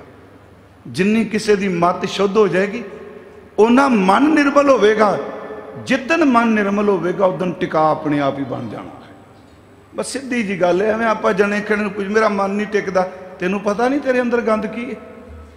ਬੰਦੇ ਨੂੰ ਪਤਾ ਹੈ ਪਰ ਇਹ ਰੈਡੀਮੇਡ ਚਾਹੁੰਦਾ ਮਿਲ ਜਾਏ ਕਿ ਤੂੰ ਸ਼ੂ ਮੰਤਰ ਹੋ ਜਾਏ ਕੰਮ। ਇਸ ਤਰ੍ਹਾਂ ਨਹੀਂ। ਸਤਿਗੁਰੂ ਸਭ ਤੋਂ ਪਹਿਲੀ ਕਿਰਪਾ ਕਰਦਾ ਹੈ, ਕਿਉਂਕਿ ਸਿੱਖ ਦਾ ਮਨ ਤਾਂ ਟਿਕੇਗਾ, ਇਹਦੀ ਦੁਰਮਤ ਦਾ ਨਾਸ਼ ਹੋਵੇਗਾ। ਸਤਿਗੁਰ ਸਿੱਖ ਕੀ ਦੁਰਮਤ ਮਲ ਰਹਿ ਗੁਰ ਬਚਨੀ ਕਰ ਨਾਮ ਉਚਰੈ। ਫਿਰ ਸਤਿਗੁਰ ਸਿੱਖ ਕੇ ਬੰਧਨ ਕਾਟੈ, ਗੁਰ ਕਾ ਸਿੱਖ ਵਿਕਾਰੀ ਤੇ ਬੰਧਨ ਹੈ। ਗੁਰ ਕਾ ਸਿੱਖ ਵਿਕਾਰ ਤੇ ਹਟੈ, ਫਿਰ ਸਤਿਗੁਰ ਸਿੱਖ ਕੋ ਨਾਮ ਤਨ ਦੇ ਗੁਰ ਕਾ ਸਿੱਖ ਵਡਭਾਗੀ ਹੈ, ਸਤਿਗੁਰ ਸਿੱਖ ਕਾ। ਆ ਆ ਗੱਲ ਸੁਣਿਓ। ਹਾਲਤ ਪਲਤ ਈਆਂ ਉਆਂ ਆਗੈ ਪਾਛੈ, ਐਥੈ ਉਥੈ ਈਤ ਊਤ। ਇਹ ਸਾਰੇ ਸ਼ਬਦ ਹੁੰਦੇ ਨੇ। ਈਤ ਊਤ ਨਹੀਂ ਵਿਛੜੈ। ਇਹ ਪਿਆਰਿਓ, ਜੇ ਕੀ ਹੈ ਨਾ ਵੀ ਬਾਣੀ ਸਿਰਫ ਜਿਉਂਦਿਆਂ ਵਾਸਤੇ। ਆ ਆ ਜਿਹੜਾ ਯੋਰ ਲੱਗਾ ਨਾ ਜੀ, ਇਹ ਬਾਣੀ ਸਿਰਫ ਜਿਉਂਦਿਆਂ ਲਈ ਜੇ। ਜੇ ਜਿਉਂਦਿਆਂ ਲਈ ਨਾਲ ਜਾਣਾ ਤੇ ਜਿਉਂਦਿਆਂ ਤੇ ਘਰ ਦੇ ਜੀਵ ਵੀ ਕੋਲ ਖਲੋਤੇ ਆ। ਨਹੀਂ ਪਿਆਰਿਓ, ਬਾਣੀ ਸ਼ਬਦ ਨਾਮ ਉੱਥੇ ਜਾਂਦਾ ਜਿੱਥੇ ਮੇਰੀ ਤੁਹਾਡੀ ਬਾਡੀ ਨੇ ਵੀ ਨਹੀਂ ਜਾਣਾ। ਅਗਲੀ ਤੋਕੀ ਹੈ, ਸਤਗੁਰ ਸਿੱਖ ਕਾ ਹਾਲਤ ਪਲਤ ਸਵਾਰੈ, ਨਾਨਕ ਸਤਗੁਰ ਸਿੱਖ ਕੋ ਸ਼ਰੀਰ ਨਾਲ ਦੁਨੀਆ ਸਾਂਭਦੀ ਏ ਜਿੰਦ ਨਾਲ ਕੇਵਲ ਗੁਰੂ ਦਾ ਸ਼ਬਦ ਜਾਂਦਾ ਹੈ। ਸਤਗੁਰ ਸਿੱਖ ਕਾ ਹਲਤ ਪਲਤ ਸਵਾਰੈ, ਨਾਨਕ ਸਤਗੁਰ ਸਿੱਖ ਕੋ ਜੀ ਨਾਲ ਪਰ ਇਸ ਪਦੇ ਚ ਮਹਾਰਾਜ ਜੀ ਨੇ ਬਿਲਕੁਲ ਨਹੀਂ ਕਿਹਾ, ਸਿੱਖਾ ਤੂੰ ਕਰਨਾ ਅਗਲਾ ਪਤਾ ਕਹਿੰਦਾ, ਆਹ ਕੰਮ ਕਰੀ ਤਾਂ ਕਿਰਪਾ ਹੋਣੀ। ਹੈ ਗੁਰ ਕੇ ਗ੍ਰਹਿ, ਸੇਵਕ ਜੋ ਰਹੇ, ਗੁਰ ਕੀ ਆਗਿਆ, ਅੰਦਰ ਪਾ ਲੈ ਨੂੰ ਤਨ ਤਨ ਨਹੀਂ ਕੇਵਲ, ਮਨ ਮੈਂ ਸਹਿ, ਯਾਦ ਰੱਖੋ ਜਿਹੜਾ ਬੰਦੇ ਦਾ ਮਨ ਆਗਿਆ ਚਲੇਗਾ, ਉਹਦਾ ਤਨ ਕਦੀ ਪਾਪ ਨਹੀਂ ਕਰੇਗਾ। ਜਿਹਦਾ ਮਨ ਆਕੀ ਹੋ ਜਾਏਗਾ, ਉਹਦਾ ਤਨ ਕਦੀ ਕੰਟਰੋਲ ਨਹੀਂ ਹੋਵੇਗਾ। ਮਹਾਰਾਜ ਨੇ ਸ਼ਬਦ ਵਰਤਿਆ, ਗੁਰ ਕੀ ਆਗਿਆ ਮਨ ਮੈਂ ਸਹਿ, ਆਪਸ ਕੋ ਕਰ। ਕੱਚ ਕਿਉਂਕਿ ਮਨ ਹੀ ਇੰਨਾ ਭੈੜਾ ਹੈ, ਇਹਨੂੰ ਹੀ ਹਉਮੈ ਦੀ ਜਦੋਂ ਸੱਟ ਵੱਜਦੀ ਏ, ਇਹ ਕਹਿੰਦਾ ਮੈਨੂੰ ਕੌਣ ਕਹਿਣ ਵਾਲਾ? ਮਨ ਇੰਨੀ ਕੁ ਸੱਟ ਸਹਿਜ ਹੈ ਆਪਣਾ ਆਪ ਮਿਟਾ ਕੇ ਗੁਰੂ ਦੀ ਆਗਿਆ ਮੰਨਦਾ ਹੈ। ਸੁਣੋ, ਗੁਰ ਕੀ ਆਗਿਆ ਮਨ ਮੈਂ ਸਹਿ, ਆਪਸ ਕੋ ਕਰ, ਕਛ ਨਾ ਜਨਾਵੇ, ਹਰ ਹਰ ਨਾਮ ਹਿਰਦੈ ਸਤਿ ਆਵੇ। ਬਾਬਾ ਜੀ ਕਹਿੰਦੇ ਆ, ਮਨ ਵੇਚੈ ਸਤਿਗੁਰੂ ਕੇ ਇਹਨੇ ਇਹ ਇਹ ਪਵਾੜੇ ਵਾਲੇ ਨੂੰ ਵੇਚ ਹੀ ਦੇ। ਮੈਂ ਕਈ ਵਾਰੀ ਸੋਚਣਾ ਮੈਂ ਅਸੀਂ ਪਿੰਡਾਂ 'ਚ ਰਹੇ ਹਾਂ ਜੀ, ਸਾਡੇ ਬਜ਼ੁਰਗ ਹਾਲ ਵਾਂਦੇ ਸਨ। ਜਿਹੜਾ ਡੰਗਰ ਜ਼ਿਆਦਾ ਤੰਗ ਕਰਦਾ ਸੀ ਨਾ, ਡੰਗਰ ਸ਼ਬਦ ਸ਼ਬਦ ਹੋ ਨਾ ਜੀ। ਤੇ ਮੈਂ ਅੱਜ ਰਕਾਬਗੰਜ ਕਹਿ ਕੇ ਆ, ਦਿੱਲੀ ਵਾਲਿਓ, ਹੱਥ ਜੋੜ ਕੇ ਬੇਨਤੀ ਜੇ ਆਪਣੇ ਘਰਾਂ 'ਚ ਪੰਜਾਬੀ ਬੋਲਿਆ ਕਰੋ। ਇੱਥੇ 99% ਜਿੰਨੇ ਬੈਠੇ, ਤੁਸੀਂ ਸਾਰੇ ਹਿੰਦੀ ਬੋਲਦੇ ਹੋ। ਸਾਡਾ ਸਟੈਂਡਰਡ ਬਣ ਚੁੱਕਾ ਹੈ। ਪੰਜਾਬੀ ਅਸੀਂ ਬੋਲ ਕੇ ਰਾਜੀ ਕੋਈ ਨਹੀਂ। ਮੈਂ ਇਹ ਨਹੀਂ ਕਹਿੰਦਾ ਵੀ ਹਿੰਦੀ ਲੈਂਗੁਏਜ ਜਾਂ ਅੰਗਰੇਜ਼ੀ ਜਾਂ ਪਰਸ਼ੀਅਨ ਨਹੀਂ ਸਿੱਖਣੀ ਚਾਹੀਦੀ, ਪਰ ਕਦੀ ਆਪਣੀ ਮਾਂ ਬੋਲੀ ਨਹੀਂ ਛੱਡਣੀ ਚਾਹੀਦੀ। ਗੁਰੂ ਨਾਨਕ ਸਾਹਿਬ ਨੇ ਜਿਸ ਵਕਤ ਮੁਗਲ ਆਏ ਨਾ ਜੀ, ਹੁਣ ਹੁਣ ਸਾਡਾ ਵੀ ਕੋਈ ਨਹੀਂ ਜੇ ਘਰ 'ਚ ਕਦੀ ਮਾਤਾ ਜੀ ਕਹਿੰਦਾ, ਦੇਖਿਆ ਆਪਣੀ ਮਾਂ ਨੂੰ ਕੋਈ? ਮੰਮ ਸ਼ਬਦ ਹੀ ਵਰਦੇ ਪਿਆ ਕੋਈ ਆਪਣੇ ਪਿਓ ਨੂੰ ਪਿਤਾ ਜੀ ਨਹੀਂ ਕਹਿੰਦਾ, ਡੈਡ ਸ਼ਬਦ ਹੀ ਵਰਤਿਆ ਹੁਣ ਕਈ ਤਰ੍ਹਾਂ ਹੋਰ ਵੀ ਸ਼ਬਦ ਵਰਤਣ ਲੱਗ ਪਏ ਮੈਂ ਇਹ ਗੱਲ ਅਮਰੀਕਾ ਵੀ ਕਹੀ, ਮੈਂ ਕਿਹਾ ਉਹ ਦੋ ਸ਼ਬਦਾਂ ਨੇ ਸਾਰੇ ਰਿਸ਼ਤੇ ਦੀਆਂ ਤਾਰਾਂ ਤੋੜ ਕੇ ਰੱਖ ਦਿੱਤੀਆਂ। ਇੱਕ ਅੰਕਲ ਆ ਗਿਆ, ਦੂਜੀ ਆਂਟੀ ਆ ਗਈ। ਪਤਾ ਹੀ ਕੋਈ ਨਹੀਂ, ਇਹ ਅੰਕਲ ਮਾਸੜ ਲੱਗਦਾ ਕਿ ਚਾਚਾ ਲੱਗਦਾ ਕਿ ਤਾਇਆ ਲੱਗਦਾ ਇਹ ਪਤਾ ਹੀ ਨਹੀਂ ਆਂਟੀ ਦਾ, ਉਹ ਸਾਡੇ ਰਿਸ਼ਤੇ ਸਨ। ਸੂਝਵਾਨ ਕਹਿੰਦੇ ਸਨ, ਮਾਸੀ ਜਦੋਂ ਕਹਿੰਦੇ ਸਨ, ਮਾਸੀ ਦਾ ਅਰਥ ਕੀ ਹੈ? ਮਾਂ ਸੀ ਮਾਂ ਵਰਗੀ। ਦੋ ਵਾਰੀ ਮਾਮਾ ਮਾਮਾ, ਮਾਂ ਨੂੰ ਦੋ ਵਾਰੀ ਆਵਾਜ਼ ਮਾਰੋ ਤੇ ਮਾਮੇ ਦਾ ਪਿਆਰ ਮਿਲਦਾ ਸੀ। ਅੱਜ ਉਹ ਸ਼ਬਦ ਮਰ ਚੁੱਕੇ ਆ। ਬੀਤੇ ਦੀ ਕਹਾਣੀ ਸ਼ਬਦਾਂ ਵਿੱਚ ਬੜਾ ਰਸ ਸੀ ਜੀ। ਮੈਂ ਫਿਰ ਤੁਹਾਨੂੰ ਬੇਨਤੀ ਕਰਾਂਗਾ ਕਿ ਪੰਜਾਬੀ ਬੋਲਿਆ ਕਰੋ। ਜੇ ਕਦੀ ਇਮਾਨਦਾਰੀ ਨਾਲ ਆਪਣੀ ਵੋਕੈਬਲਰੀ ਦੇਖਿਓ, ਤੁਹਾਡੀ ਕਿੰਨੀ ਕੁ ਰਹਿ ਗਈ ਹੈ ਪੰਜਾਬੀ ਦੀ। ਆ 20 ਅੱਖਰਾਂ 'ਚ ਪੰਜਾਬੀ ਮੁੱਕ ਜਾਂਦੀ ਹੈ ਦਿੱਲੀ ਵਾਲਿਆਂ ਦੇ ਹਾਂਜੀ, ਇਹੀ ਹਾਲ ਬਾਹਰ ਹੈ। ਇਹ ਇਹ ਕੱਟੜਤਾ ਨਾ ਸਮਝੋ ਜਿਸ ਵਕਤ ਮੁਗਲ ਆਏ ਤੇ ਲੋਕਾਂ ਦਾ ਫੈਸ਼ਨ ਬਣ ਗਿਆ ਜੀ। ਹਿੰਦੂ ਵੀ ਕਹਿਣ ਲੱਗ ਪਏ, ਜਦੋਂ ਘਰ ਚ ਆਉਣਾ ਤੇ ਔਰਤ ਨੇ ਕਹਿਣਾ, ਮੀਆਂ ਸਾਹਿਬ। ਤੇ ਘਰ ਵਾਲੇ ਨੇ ਕਹਿਣਾ, ਬੇਗਮ ਸਾਹਿਬਾਂ, ਮਹਾਰਾਜ ਨੇ ਕਿਹਾ, ਘਰ ਘਰ ਮੀਆਂ ਸਭਨਾ ਜੀਆਂ ਬੋਲੀ ਅਵਰ ਤੁਮਾਰੀ। ਖੱਤਰੀਆਂ ਤਾਂ ਧਰਮ ਛੋੜਿਆ, ਮਲੇਸ਼ ਭਾਖਿਆ ਗਈ। ਆਪਣੀ ਬੋਲੀ ਬੋਲੋ। ਜੀ ਸਦਕੇ ਜੋ ਮਰਜ਼ੀ ਤੁਸੀਂ ਬਾਕੀ ਬੋਲੋ ਤੇ ਮੈਂ ਅੱਜ ਕਹਿਣਾ ਜਿਹੜਾ ਪੰਜਾਬੀ ਬੋਲੇਗਾ, ਉਹ ਗੁਰੂ ਨਾਨਕ ਸਾਹਿਬ ਦੀ ਕਿਰਪਾ ਲਏਗਾ। ਕਿਰਪਾ ਤਾਂ ਕਿਹਾ ਹੈ? ਕਿਉਂਕਿ ਪੜਿਆ ਨਹੀਂ ਜਾਣਾ ਗੁਰੂ ਗ੍ਰੰਥ ਸਾਹਿਬ ਨੂੰ ਗੁਰਮੁਖੀ ਸਕ੍ਰਿਪਟ ਤੋਂ ਬਿਨਾ। ਹਿੰਦੀ ਤੁਸੀਂ ਪੜ੍ਹ ਲਓ, ਸ਼ੁੱਧ ਉਚਾਰ ਨਹੀਂ ਹੋਵੇਗਾ। ਪਰ ਮੈਂ ਜਿਹੜੀ ਬੇਨਤੀ ਸਮਾਪਤੀ ਕਰਨ ਲੱਗਾ ਕਿ ਇੱਕ ਮਨ ਵਿੱਚ ਹੈ, ਜਿਹੜਾ ਡੰਗਰ ਜ਼ਿਆਦਾ ਤੰਗ ਕਰਦਾ ਸੀ ਨਾ, ਇਹਨੂੰ ਕਹਿੰਦੇ ਨੂੰ ਵੇਚ ਦਿਓ, ਖਹਿੜਾ ਛੁੱਟ ਜਾਏ। ਪਰ ਫ਼ਰਕ ਇੰਨਾ ਸੀ ਮਨ ਵੀ ਡੰਗਰ ਦੀ ਤਰ੍ਹਾਂ ਜੀ। ਮਹਾਰਾਜ ਨੇ ਇੱਕ ਬਾਣੀ ਚ ਬਚਨ ਕਿਹਾ ਮਨ ਮਨ ਖੁੱਟਹਰ ਤੇਰਾ ਨਹੀਂ ਵਿਸਾਸ ਇਹ ਵੀ ਡੰਗਰ ਹੀ ਪਸ਼ੂ ਹੀ ਹੈ, ਗਧੇ ਦੀ ਤਰ੍ਹਾਂ ਉਹ ਕਹਿੰਦੇ ਇਹਨੂੰ ਵੇਚ ਦਿਓ ਗਲੋਂ ਲੈ ਜਾਏਗਾ। ਡੰਗਰ ਵੇਚੋ ਗਲੋਂ ਲੈ ਜਾਏਗਾ। ਮਨ ਤੰਗ ਕਰਦਾ ਦੁਲੱਤੀਆਂ ਮਾਰਦਾ ਇਹਨੂੰ ਗੁਰੂ ਕੋਲ ਵੇਚ ਦਿਓ ਇਹ ਕੰਮ ਆਉਣ ਲੱਗ ਪਵੇਗਾ। ਮਹਾਰਾਜ ਨੇ ਕਿਹਾ ਮਨ ਵੇਚੈ ਸਤਿਗੁਰੂ ਕੇ ਪਾਸ ਤੇ ਸੇਵਕ ਕੇ ਕਾਰਜ ਰਾਸ। ਅਗਾਹ ਬਚਨ। ਸੇਵਾ ਕਰਤ ਹੋਏ ਨੇਕਾਮੀ ਤਿਸ ਕੋ ਹੋਤ। ਪ੍ਰਾਪਤ ਸੁਆਮੀ ਟਾਈਮ ਮੇਰਾ 5 ਮਿੰਟ ਰਹਿ ਗਿਆ ਜੀ। ਹਾਂਜੀ? ਭਾਈ ਸਾਹਿਬ ਨੇ ਆ ਗਏ ਨੇ ਕੀਰਤਨੀ। ਇੱਕ ਪਦਾ ਗੁਰੂ ਕਿਵੇਂ ਕਿਵੇਂ ਕਿਰਪਾ ਕਰਦਾ ਹੈ। ਹੁਣ ਅਸੀਂ ਪੜਿਆ ਨਾ ਕਿ ਸਤਿਗੁਰੂ ਦਿਆਲਤਾ ਕਰਦਾ ਹੈ। ਸਤਿਗੁਰ ਸਿੱਖ ਕੀ ਕਰੈ, ਪ੍ਰਤਪਾਲ ਸੇਵਕ ਕੋ ਗੁਰ। ਕਿਵੇਂ ਦਿਆਲੂ ਹੈ? ਮਹਾਰਾਜ ਜੀ ਦੀ ਸ਼ੋਅ ਮਿਲਣ ਦੇ ਕਈ ਤਰੀਕੇ ਨੇ। ਜਿਹੜੇ ਬਾਣੀ ਨੇ ਸਵੀਕਾਰੇ ਆ। ਸਭ ਤੋਂ ਪਹਿਲਾਂ ਗੁਰੂ ਗ੍ਰੰਥ ਸਾਹਿਬ ਚ ਗੁਰੂ ਅਰਜੁਨ ਦੇਵ ਕਹਿੰਦੇ ਆ, ਜਿਹੜਾ ਭਾਵਨਾ ਸੰਯੁਗਤ, ਅੱਜ ਵੀ ਮੈਂ ਕਿਹਾ ਕਿ ਅੱਜ ਡਿੱਠੇ ਹੋਣਾ ਨਾ ਜੀ, ਤੇ ਮੈਂ ਬੇਨਤੀ ਕੀਤੀ ਸੀ, ਕਈਆਂ ਨੇ ਬਚਨ ਕਹਿਣਾ ਡਿੱਠੇ ਮੁਕਤ ਨਾ ਹੋਵੇ। ਤੇ ਇਹ ਤੇ ਕਈ ਜਾਂਦੇ ਨੇ, ਉੱਥੇ ਸਾਰੇ ਅਸੀਂ ਪ੍ਰਮਾਣ ਲਏ ਸਨ ਵੀ ਡਿੱਠੇ ਬਾਣੀ ਚ ਗੁਰੂ ਨਾਨਕ ਸਾਹਿਬ ਲਈ ਵੀ ਕਿਹਾ, ਗੁਰੂ ਨਾਨਕ ਜੀ ਨੇ ਸੁਣਿਆ, ਵੇਖਿਆ। ਗੁਰੂ ਅਰਜੁ ਅੰਗਦ ਸਾਹਿਬ ਲਈ ਕਹੇ ਕਿ ਤੁਧ ਡਿੱਠੇ ਸੱਚੇ ਪਾਤਸ਼ਾਹ ਮਲ ਜਨਮ ਜਨਮ ਦੀ ਕਟਿਐ ਗੁਰੂ ਅਮਰਦਾਸ ਲਿਖਿਆ ਜਾਲਪਾ ਪਦਾਰਥ ਇਤੜੇ ਗੁਰੂ ਅਮਰਦਾਸ ਡਿੱਠੇ ਮਿਲੇ। ਗੁਰੂ ਰਾਮਦਾਸ ਲਿਖਿਆ ਗੁਰ ਡਿੱਠਾ ਤਾਂ ਮਨ ਸਾਧਾਰਿਆ। ਇਹ ਡਿੱਠੇ ਸ਼ਬਦ ਸਾਰਿਆਂ ਲਈ ਵਰਤਿਆ ਗਿਆ। ਪਰ ਫਿਰ ਜੇ ਆਖਾਂਗੇ ਜੀ, ਇਸ ਤੋਕ ਦੇ ਕੀ ਅਰਥ ਕਰੋਗੇ? ਡਿੱਠਾ ਮੁਕਤ ਨਾ ਹੋਵੇ। ਉਹਦਾ ਇੱਕ ਕਾਰਨ ਹੈ, ਜੇ ਮੇਰੀ ਸ਼ਬਦ ਪ੍ਰਤੀ ਆਸਥਾ ਹੀ ਨਹੀਂ, ਮੈਂ ਭਰੋਸਾ ਹੀ ਨਹੀਂ ਕਰਦਾ, ਫਿਰ ਮੇਰੇ ਅੰਦਰ ਨੂੰ ਭਾਗ ਕੀ ਲੱਗਣਾ ਸਭ ਤੋਂ ਪਹਿਲਾਂ ਗੁਰੂ ਦੀ ਦਿਆਲਤਾ ਗੁਰੂ ਦਾ ਦਰਸ਼ਨ ਨੇਫਲ ਨਹੀਂ, ਸਫਲ ਦਰਸ਼ਨ ਪੇਖਤ ਪੁਨੀਤ। ਇਹ ਪਹਿਲੀ ਸ਼ੂਖ ਹੈ, ਗੁਰੂ ਦੇ ਦਰਸ਼ਨ ਕਰੇ, ਉਹਦੇ ਵੇਖਣ ਵਿੱਚੋਂ ਵੀ ਪਵਿੱਤਰਤਾ ਮਿਲਦੀ ਹੈ। ਤੇ ਇਹਦਾ ਕਾਰਨ ਹੈ, ਅੱਜ ਅੱਜ ਬਹੁਤ ਜ਼ਿਆਦਾ ਤਜਰਬਾ ਸਾਰਿਆਂ ਦੀ ਹੈ ਕੋਈ ਬੰਦਾ ਬੋਲੇ ਨਾ, ਸਿਰਫ ਤੁਹਾਡੇ ਕੋਲ ਆ ਕੇ ਬੈਠ ਜਾਏ। ਜਿਹੜਾ ਬੰਦਾ ਥੋੜਾ ਜਿਹਾ ਵੀ ਕਿਤੇ ਰੂਹਾਨੀਅਤ ਦੀ ਸ਼ੂ ਵੱਲ ਚੱਲਿਆ ਹੈ ਨਾ ਉਹ 2 ਮਿੰਟ ਬਾਅਦ ਕਹਿਦਾ ਹੈ ਕਿ ਇਸ ਬੰਦੇ ਦੀ ਵਾਈਬ੍ਰੇਸ਼ਨ ਚੰਗੀ ਨਹੀਂ। ਨਾ ਵੀ ਬੋਲੇ, ਕਿਉਂਕਿ ਉਹਦਾ ਔਰਾ 네ਗੇਟਿਵ ਹੋਵੇਗਾ। ਮਹਾਰਾਜ ਕਹਿੰਦੇ ਆ ਕਿ ਸੱਚ ਇਹ ਵੇ, ਜਿਤਨਾ ਕਿਸੇ ਦਾ ਅੰਦਰ ਸ਼ੁੱਧ ਹੋਵੇਗਾ ਉਹਨਾਂ ਉਹਦੀ ਬਾਡੀ ਦੀਆਂ ਜਿਹੜੀਆਂ ਵੇਵਜ਼ ਨੇ, ਉਹ ਲੋਕਾਂ ਨੂੰ ਆਪਣੇ ਵੱਲ ਖਿੱਚਣਗੀਆਂ। ਇਸੇ ਕਰਕੇ ਮਹਾਰਾਜ ਨੇ ਕਿਹਾ, ਜਿਨ੍ਹਾਂ ਦਸੰਦੜਿਆਂ ਦੁਰਮਤ ਵੰਝੈ ਵੇਖਣ ਨਾਲ।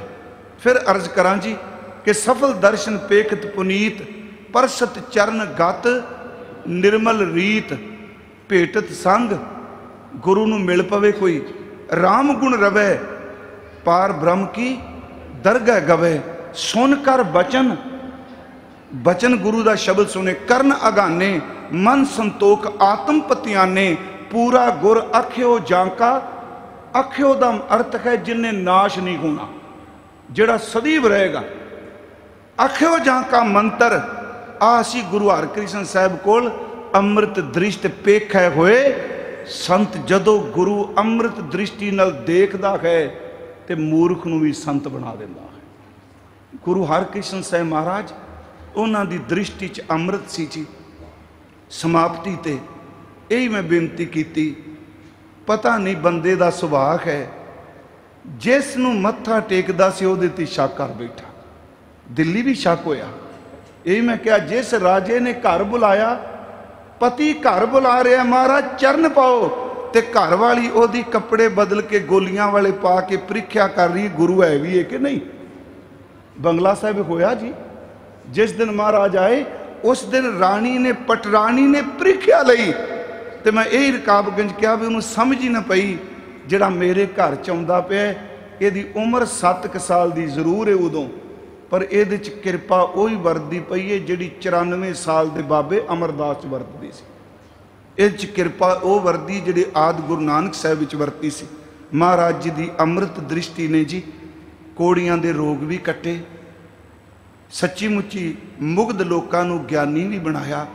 ਗੁਰੂ ਹਰਕ੍ਰਿਸ਼ਨ ਸਾਹਿਬ ਮਹਾਰਾਜ ਜੀ ਨੇ ਸਭ ਤੋਂ ਜਿਹੜੀ ਹੁਣ ਪੜ੍ਹੇ ਲਿਖੇ ਕਹਿਣਗੇ ਦੂਰ ਅੰਦੇਸ਼ੀ ਰਾਮ ਰਾਏ ਖਤਰਾ ਸੀ ਗੱਦੀ ਲਈ। ਪੰਥ ਚੀਰਿਆ ਪਿਆ ਸੀ। ਧੀਰਮਲ ਪੂਰਾ ਜ਼ੋਰ ਲਾ ਰਿਹਾ ਸੀ। ਉਦੋਂ ਪਿਰਥੀਏ ਕੇ ਜਿਹੜੇ ਸਨ ਮਿਹਰਬਾਨ ਦੀ ਔਲਾਦ ਜਿਨ੍ਹਾਂ ਨੂੰ ਮੀਣੇ ਕਹਿੰਦੇ ਆ, ਦਰਬਾਰ ਸਾਹਿਬ ਉਹਨਾਂ ਕੋਲ ਸੀ ਉਸ ਵਕਤ। ਗੁਰੂ ਹਰਕ੍ਰਿਸ਼ਨ ਸਾਹਿਬ ਮਹਾਰਾਜ, ਬੰਗਲਾ ਸਾਹਿਬ ਦੀ ਅਪਵਿੱਤਰ ਧਰਤੀ ਹੈ ਜਿਸ ਵਕਤ 8 ਸਾਲ ਦੀ ਉਮਰ ਚ 30 ਮਾਰਚ 1664 ਨੂੰ ਆਪਣਾ ਚੋਲਾ ਤਿਆਗਣ ਲੱਗੇ ਤੇ ਸ਼ਾਮ ਨੂੰ ਇਹ ਪੁੱਛਿਆ ਸੀ ਕਿ ਪਹਿਲੇ ਗੁਰੂ ਸਾਹਿਬ ਜਾਣ ਤੋਂ ਪਹਿਲਾਂ ਬਾਹ ਪਕੜਾ ਕੇ ਜਾਂਦੇ ਸਨ, ਲੜ ਲਾ ਕੇ ਜਾਂਦੇ ਸਨ। ਮਹਾਰਾਜ ਨੇਤਰ ਖੋਲ ਕੇ ਅਖੀਰਲੇ ਬਚਨ ਇਹ ਕਹੇ ਕਿ ਬਾਬਾ, ਬਸ ਬਸੇ ਗ੍ਰਾਮ ਬਕਾਲੇ ਅਸੀਂ ਚੌਲਾ ਛਕੋਚਲ ਲੱਗੇ ਹਾਂ, ਸਾਡੀ ਜਗ੍ਹਾ ਬਕਾਲੇ ਦੀ ਧਰਤੀ ਤੇ ਸਾਡੇ ਬਾਬਾ ਜੀ ਬੈਠੇ ਨੇ। ਜਿੱਥੋਂ ਕਥਾ ਸ਼ੁਰੂ ਆਪਾਂ ਕੀਤੀ, ਬਾਬੇ ਦਾ ਲਫ਼ਜ਼ੀ ਅਰਥ ਹੈ ਦਾਦਾ। ਉਂਝ ਬਾਬਾ ਫਾਰਸੀ ਦਾ ਸ਼ਬਦ ਹੈ ਜੀ ਅਸੀਂ ਪੰਜਾਬ 'ਚ ਬਾਬਾ ਸ਼ਬਦ ਵੱਡੇ ਲਈ ਵਰਤਨੇ ਆ, ਦਾਦੇ ਲਈ ਵਰਤਨੇ ਆ। ਉਂਝ ਵੈਸੇ ਫਾਰਸੀ ਵਿੱਚ ਬਾਬੇ ਦਾ ਅਰਥ ਹੈ ਬਜ਼ੁਰਗ। ਬਜ਼ੁਰਗ ਨੂੰ ਕਿਹਾ ਜਾਂਦਾ ਹੈ ਬਾਬਾ। ਪਰ ਸਿੱਖੀ 'ਚ ਇਹ ਸ਼ਬਦ ਦੀ ਵੀ ਪਰਿਭਾਸ਼ਾ ਬਦਲ ਗਈ ਜੀ। ਆਮ ਤੌਰ ਤੇ ਬਾਬਾ ਕਹਿੰਦੇ ਆ, ਜਿਹਦਾ ਦਾੜਾ ਚਿੱਟਾ ਹੋ ਜਾਏ, ਬਾਬਾ, ਪਰ ਇੱਥੇ ਜਦੋਂ ਗੁਰੂ ਦੀ ਕਿਰਪਾ ਵਰਤ ਜਾਏ, ਤੇ 7 ਸਾਲ ਤੇ 9 ਸਾਲ ਦੇ ਸਹਿਬਜ਼ਾਦੇ ਵੀ ਬਾਬੇ ਬਣ ਜਾਂਦੇ ਨੇ। ਬਾਬਾ ਫਤਿਹ ਸਿੰਘ ਬਾਬਾ ਜ਼ੋਰਾਵਰ ਸਿੰਘ ਆਪਾਂ ਕਹਿੰਦੇ, ਇੱਥੇ ਬਾਬਾ ਦਾ ਅਰਥ ਸੀ ਦਾਦਾ, ਕਿਉਂਕਿ ਬਾਬਾ ਗੁਰਦਿੱਤਾ ਸਭ ਤੋਂ ਵੱਡੇ ਨੇ ਤੇ ਸਭ ਤੋਂ ਛੋਟੇ ਭਰਾ ਬਾਬਾ ਗੁਰਦਿੱਤਾ ਜੀ ਦੇ ਗੁਰੂ ਤੇਗ ਬਹਾਦਰ ਜੀ ਨੇ। ਬਾਬੇ ਗੁਰਦਿੱਤੇ ਦਾ ਪੋਤਾ ਹੈ ਗੁਰੂ ਹਰਕ੍ਰਿਸ਼ਨ ਸਾਹਿਬ ਤੇ ਗੁਰੂ ਹਰਕ੍ਰਿਸ਼ਨ ਸਾਹਿਬ ਆਪਣੇ ਦਾਦੇ ਦੇ ਭਰਾ ਨੂੰ ਬਾਬਾ ਕਹਿ ਕੇ ਸੰਬੋਧਨ ਕਰ ਰਹੇ ਨੇ ਕਿ ਸਾਡੇ ਤੋਂ ਬਾਅਦ ਗੁਰਗੱਦੀ ਦੇ ਵਾਰਸ ਉਹ ਹੋਣਗੇ। ਧੰਨ ਗੁਰੂ ਹਰਕ੍ਰਿਸ਼ਨ ਸਾਹਿਬ। ਕਿਰਪਾ ਕਰੋ ਸਤਿਗੁਰੂ ਜੀ। ਤੁਸੀਂ ਅੱਜ ਵੀ ਬਰਕਤਾਂ ਝੋਲੀ ਚ ਪਾਉਂਦੇ ਹੋ। ਤਰਸ ਕਰੋ, ਸੱਚੀ ਮੁੱਚੀ ਅਸੀਂ ਆਤਮਿਕ ਤੌਰ ਤੇ ਗੁੰਗੇ ਵੀ ਹਾਂ। ਅਸੀਂ ਬੋਲੇ ਵੀ ਹਾਂ। ਸਾਨੂੰ ਅੱਖਾਂ ਨਾਲ ਵਕਾਰਾਂ ਕਰਕੇ ਅੰਨੇ ਵੀ ਹਾਂ। ਤੁਸੀਂ ਆਪਣੇ ਰਹਿਮਤ ਦੀ ਛੜੀ ਵਰਤਾਓ। ਸਾਨੂੰ ਅੰਤਰਮੁਖੀ ਗਿਆਨ ਦੇ ਚਕਸ਼ੂ ਬਖਸ਼ੋ। ਸਾਨੂੰ ਸ਼ਬਦ ਸਰਵਣ ਕਰਨ ਵਾਸਤੇ ਸਰੋਤ ਦੇ ਦਿਓ। ਅਸੀਂ ਗੁੰਗੇ ਹਾਂ। ਸ਼ਬਦ ਵੱਲੋਂ ਤੁਸੀਂ ਛੜੀ ਰੱਖ ਦਿਓ। ਅਸੀਂ ਗੁਰੂ ਗੁਰੂ ਜਪਣ ਲੱਗ ਪਈਏ। ਆਪ ਸੰਗਤ ਦਾ ਬਹੁਤ ਧੰਨਵਾਦ। ਵਾਹਿਗੁਰੂ ਜੀ ਕਾ ਖਾਲਸਾ। ਵਾਹਿਗੁਰੂ ਜੀ